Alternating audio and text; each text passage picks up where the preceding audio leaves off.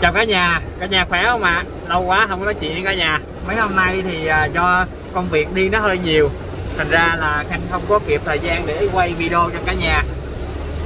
À, hôm nay khanh đang chở đồ bảo hộ và khẩu trang cũng giống như là cái à, à, găng tay lên trung tâm à, người khuyết tật tại quận 12 đường Tô Ngọc Vân. Đấy. À, thì là trời mưa rất là to nha mưa không thấy đường chạy luôn á đây là đường Bạch Đằng. Đó, các bạn thấy không ạ? Trời mưa rất là to giờ phải chạy tốc độ ờ, 40 cây số giờ thôi. Không thấy đường chạy luôn. À, mấy hôm nay thì thông tin cũng có rất là nhiều. À, cũng muốn chia sẻ lại rút gọn lại một số thông tin với cả nhà. Đầu tiên á, là cái việc mà hỗ trợ người lao động mất việc thì đợt này là người ta chi tiền đợt hai luôn rồi thành ra là những anh chị nào mà chưa có chưa có nhận được đợt một á, thì gọi lên cái tổng đài là 1022 á để mình coi uh, hướng dẫn cách giải quyết nha. À, còn chỗ nào mà phường nào mà làm chậm trễ á, thì mình có thể là báo cáo lên thẳng trên đó luôn.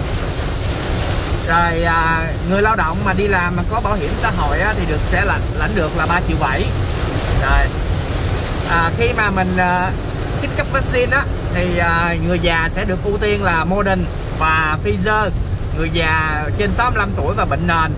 Còn những anh em mình á, là sẽ chích là à, Astra hoặc là cái thuốc của hàng xóm. Là tùy theo đợt nha.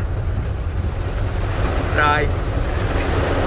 À, chia sẻ tiếp một vài thông tin nữa đó là số ca số ca tử vong và và số ca mà bệnh á, thì cũng đã giảm rồi. À, giảm và số ca mà khỏi bệnh á, thì cũng tăng. Đó là một tín hiệu tốt à, hy vọng là những cái tín hiệu này á, là sau ngày gọi là sau ngày à, 10, 16 tây á 16 tây tức là sau à, hết 15 ngày giãn cách của chỉ thị xã hội á thì à, mình sẽ được gặp nhau cũng giống như là à, bớt những cái rồi cũng giống như là bớt bớt à, gỡ bớt những cái quy định về à, về việc giãn cách. Tại vì cái việc mà cấm di chuyển sau 6 giờ đó, nó rất là bất tiện à, mọi người à, gần như là phải tranh thủ đi về trước 4 giờ không à? Giờ này khanh đi quận 12 nè. Đó quận 12 mà không biết là lát nữa về là có kịp không á. À, trời mưa thì quá to lát nữa không biết là có xuống được không nữa. Rồi. Đây là đường à, Nguyễn Thái Sơn. Ủa cái đường này à? Đúng rồi Nguyễn Thái Sơn. À, về à, một số cái thông tin khác giống như là à, đi à, một số anh chị ở Hồ Chí Minh á gọi là muốn đi trở về Hồ Chí Minh mà để chích ngừa á à, chủ yếu là để chích ngừa thôi. Thì à, khanh cũng hướng dẫn đó là mình à, chuẩn bị giấy tờ cá nhân cũng giống như là cái lệnh điều động chích ngừa.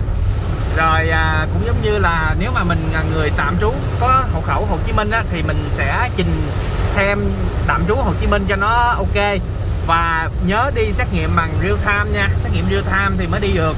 Còn nếu mà mình sử dụng cái xét nghiệm test bình thường thì không có đi được đâu. Đó, đó là những cái thông tin mà khanh muốn gửi đến cho cả nhà mình trong hôm nay. Mong rằng những cái thông tin này sẽ mang lại giá trị cho cả nhà.